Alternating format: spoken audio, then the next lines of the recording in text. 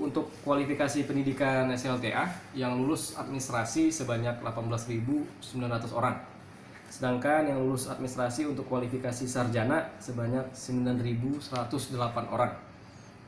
Terus Ya, kemudian Ya. eh, nanti yang lulus ini harus apa aja nih tahap bagi selanjutnya?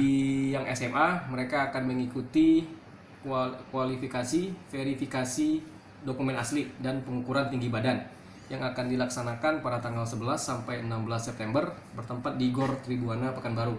Sedangkan bagi yang sarjana mereka akan mengikuti ujian CAT yang bertempat di BKN dan Kanwil Riau pada tanggal 11 sampai 16 September.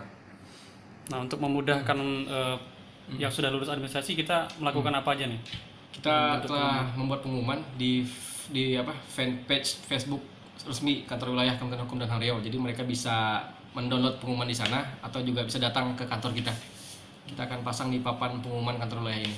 Nah, bagi SMA yang juga Sama juga yang dua-duanya. sudah- Iya, satu juga seperti itu. Apa yang mesti yang penting gitu yang harus Ya. mereka persiapkan untuk Kalau mengikuti bagi SMA, karena mereka akan mengikuti verifikasi dokumen asli, jadi mereka wajib membawa ijazah asli, KTP asli, foto foto 4x6 merah, serta lembar registrasi. Sedangkan bagi S1, karena mereka akan mengikuti ujian CAT, mereka wajib membawa kartu ujian dengan KTP. Itu saja.